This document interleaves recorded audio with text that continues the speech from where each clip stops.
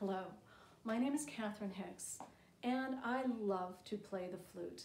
And I also love to teach people young and old to learn to play this wonderful, beautiful instrument. It's like a beautiful singing voice.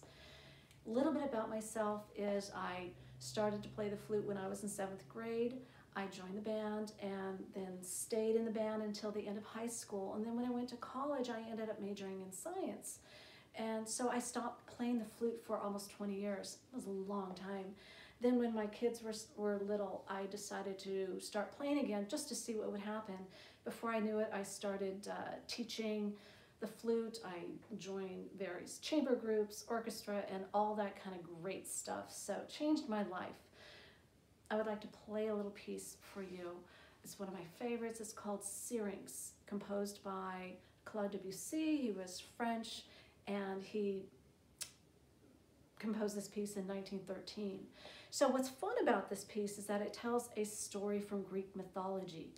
Syrinx was a beautiful wood nymph. It's kind of like a, a fairy. And Pan was a young Greek god, half goat, half man creature, and he was just in love, absolutely in love with Syrinx. One day, Pan sees Syrinx in the woods and he starts to chase her. Syrinx didn't like him so much. She's running away from him. She gets to the water's edge and she, in desperation, prays to the river gods, please save her um, to get away from Pan. So they felt sorry for her and changed her into a clump of reeds that's sort of like grass and that to hide her. Then when Pan gets to the water's edge, he looks around for Syrinx, but he noticed that clump of reeds was new. He knew that was Syrinx. He was furious, so he grabbed the reeds and he broke them apart. And in doing so, he ends up killing Syrinx. When he thought about that, he felt very, very sad and remorseful. So he starts to put the reeds back together into little pipes of different lengths, and he fashioned together what is called a pan flute. And he starts to try to make some music, make sounds out of the pan flute to try to keep, to try to bring Syrinx back to life. So when you hear this little piece, use your imagination and try to think of that story, maybe where it gets really loud, that's where Syrinx is breaking apart the reeds, and then afterwards it sounds sort of sad, and maybe that's where he's trying to bring Syrinx back to life. So please enjoy.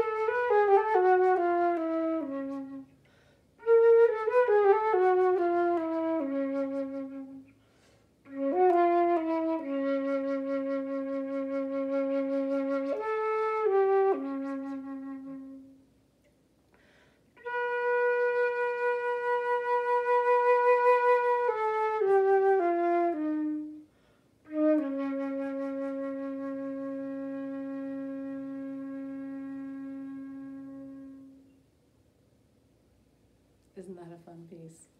Hope you heard a little bit of the story in there. Anyway, please join me in some lessons. We can have a lot of fun, and uh, I hope you have a wonderful day. Bye.